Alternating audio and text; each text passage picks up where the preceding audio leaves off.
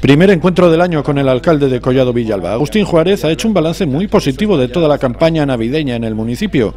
cuyo remate era la multitudinaria cabalgata de Reyes. La ausencia de incidentes y la participación vecinal han sido las notas sin duda más destacadas. Para Agustín Juárez, lo peor que deja 2013 es el paro en el municipio y lo mejor, que las cuentas del consistorio ya están saneadas gracias al esfuerzo y al sacrificio de los vecinos. Con él hemos repasado los asuntos más destacados de este año y del que empieza.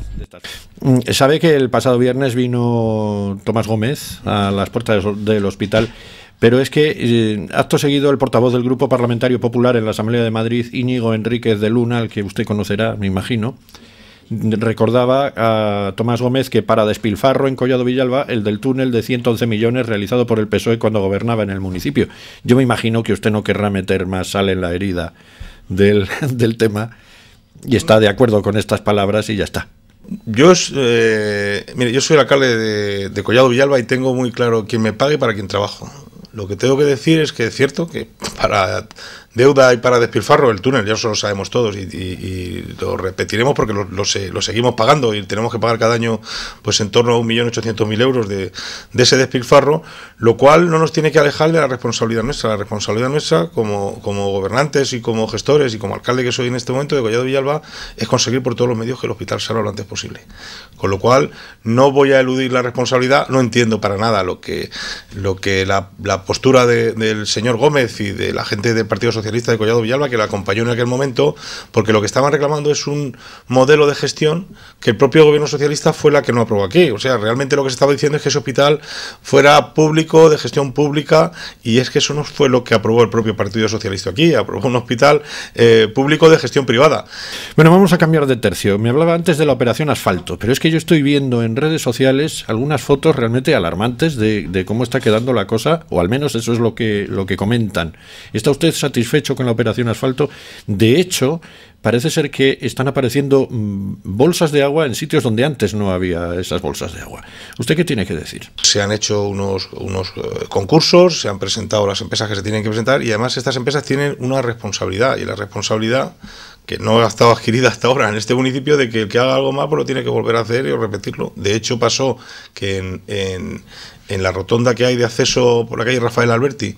de acceso a, a las suertes, se levantaron porque se eh, echó el asfalto en, en- con una temperatura que no era la ideal y se levantaron y bueno, pues había que coger, tirarlo y hacerlo y hacerlo de nuevo. Y cualquier reclamación que se esté planteando, estamos en tiempo y forma. Tenemos un año para decir esto es lo que hay que hacer y nosotros pagamos religiosamente, que ahora sí podemos decir que el Ayuntamiento de Collado Villalba está pagando religiosamente, con lo cual exigimos religiosamente que se cumpla con lo establecido. Si hay alguna anomalía, yo a nivel general pues estoy muy satisfecho con que, con que las calles de nuestro municipio se vayan renovando y se vayan eh, eh, asfaltando. Evidentemente está muchísimo mejor de lo que está. Lo que usted me dice de si ha salido bolsas de agua donde no las había, pues bueno, hemos tenido una, una época de lluvias, unos días de lluvia bastante importante y, y- y cuando cuando vienen las lluvias en esas cantidades, pues se ven un poco dónde están las carencias y lo que tenemos que hacer es intentar intentar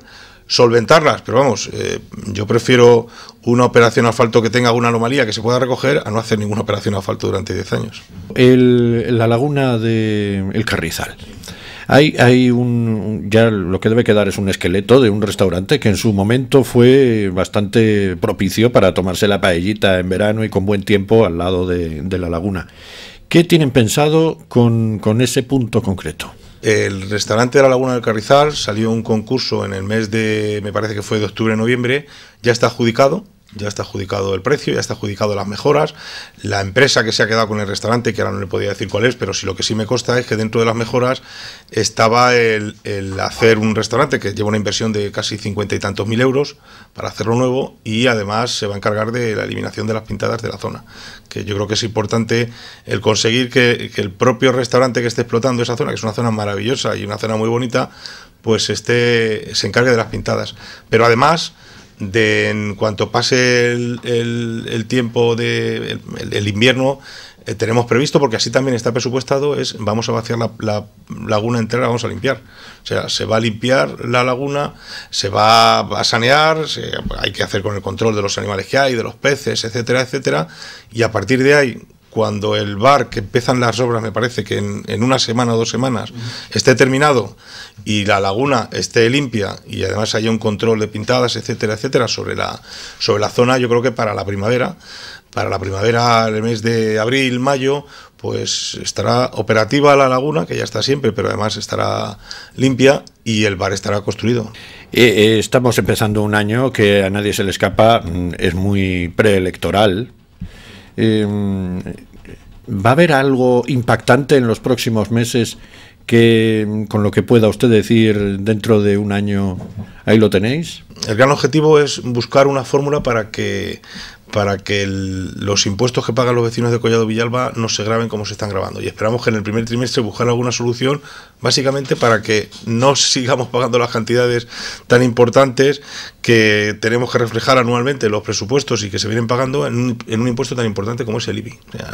por coger el toro por los cuernos, el impuesto que más pagan todos los vecinos es el IBI y nosotros estamos buscando las fórmulas que respetando la legalidad porque nosotros estamos inmersos en planes de ajuste que nos impiden tocar el piso el tipo impositivo, vamos a solicitar una revisión catastral, pero que no va a ser en el tiempo, esto no se hace de un día para otro, esto es a futuro, pero queremos hacer alguna medida que afecte ya directamente en el IBI de este año. Hablamos del túnel de, Honorio Lozano y de la biblioteca. ¿Están eh, cumpliéndose las expectativas que usted tenía o están por debajo? No, no, están cumpliéndose totalmente las expectativas. De hecho, pues en, fechas señaladas, en fechas puntuales como son los días de mercadillo, eh, la gente lo utiliza como acceso a, juzgados y, luego pues en fecha el día de Reyes, por ejemplo, el día de la cabalgata y otros días que tienen máxima afluencia, pues eh, ocupación máxima, mil plazas de ocupación máxima. Yo creo que, que es un revulsivo muy importante los comerciantes yo creo que así lo han entendido, por lo menos lo que es lo que me han manifestado a mí. A lo mejor es que a mí me manifiestan solo lo positivo, que también suele pasar muchas veces, pero yo que procuro moverme por la calle y procuro entrar a comprar en los comercios y comentar qué tal va la cosa, si se ha notado, si no se ha notado, yo creo que la percepción es, es muy buena, que en una zona, en la zona central de Collado Villalba, con algunas novedades muy importantes que esperemos decir también en breve que afecten positivamente a la zona centro, eh, que, que, de repente tengamos mil plazas de aparcamiento, pues yo creo que es muy positivo y de momento pues la gente de la biblioteca se está llenando y, y el otro parking igual. ¿Qué consecuencias ha tenido para usted personalmente y para el municipio la cena del Partido Popular de Navidad? Bueno, a nivel de municipio creo que, porque además hasta el ayer domingo bueno, perdón, ayer lunes o el propio domingo seguía saliendo una, en una página una foto entera en el país con la foto de la cena. Ha tenido una repercusión eh, internacional, incluso internacional. En algunos medios ha salido pues la cena y nos ha situado en el mapa como un sitio de referencia donde el partido que, que más cota de poder tiene ahora mismo en este país pues, eh, pues estaba reunido en una ciudad que, que, es importante, importantísima, que es la capital de la sierra, que es, que es Collado Villalba.